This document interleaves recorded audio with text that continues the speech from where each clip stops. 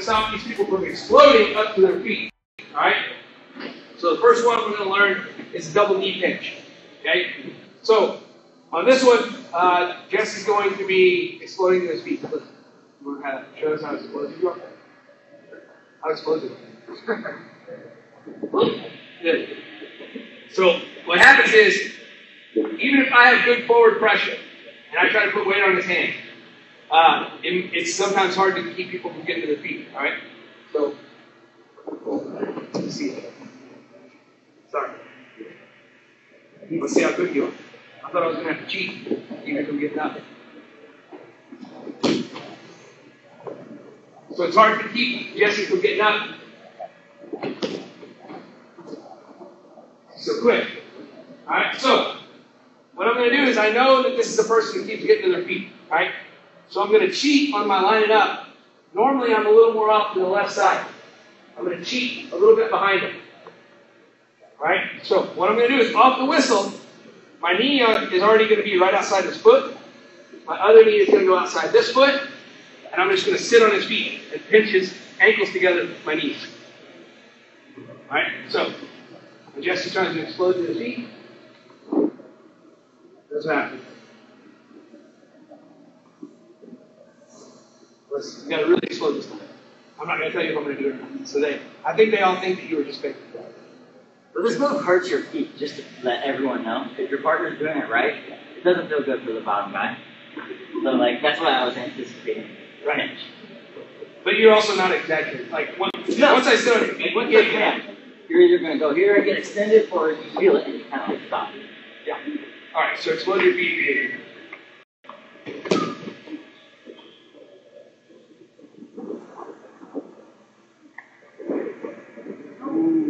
Right here. Okay, now, what you want to do is you feel you see how his hands came up, or he tried to come up, and then once he was stuck, his hands went back down. When his hands are coming back down, that's when I'm going to change my pressure to forward and go to like my spiral or my chop. All right. So try to do this in like super slow motion. I pinch down, he comes up, and as he's going back down, I'm going to chop forward over that hand as he's putting his weight back down. Okay? So off the whistle, partner's going to try to explode to their feet. Okay? And listen, the first few times you do this, your partner should get to their feet a couple times because you're not going to be very good at it. Okay? And if they're not, then tell your partner, hey, I need you to try harder. Okay? Get up to your feet. So off the whistle. Boom. Pinch. As his hands are going back down. Chopping to my cross. Knee in the butt. I'm flat. Them okay. Everybody got it? Double knee pinch on the ankles. Okay? You can also go to a spiral or a thigh, double thigh pry two from here. So off the whistle, I can pinch. I can go here. I can pinch. I go spiral. Then you're in. Yeah, we're just going about it in a different way. Okay? So for me, I'll tell you this is this was a this was a game changer as a first move for me on top. Because uh, being short, every now and then at 141, I would get somebody that was like kind of pretty late. And what happens is, you guys ever learned how to like arch your back or turtle shell your back on bottom when you get set? Where you like, get on your fingertips, try to have back call. Well, what would happen is if I wrestled like a 141 pounder that had four inches on me, and then they do that, then what I always had a hard time getting set where I could put any weight on top of them. It was really hard to get my weight up and on them to put the weight on their hands before they got their hands up to seal out my hand control. I start coming to the feet. So I had a really hard time with big guys like that, tall guys like that.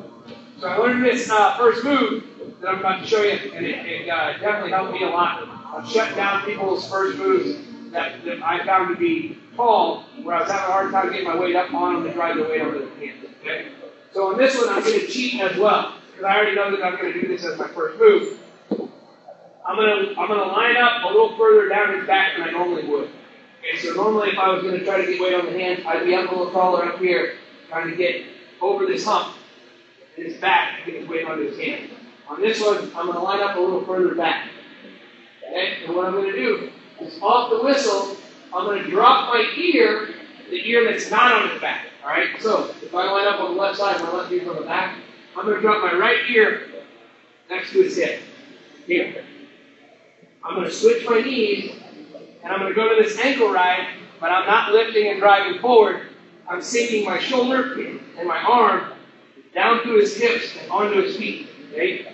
So on this one, when I change my knee over, my head drops, I'm going here. Alright, so if he tries to step up or come up, all of his weight being pulled back down to his hips, but I'm not sucking him back, I'm not pulling him to his butt.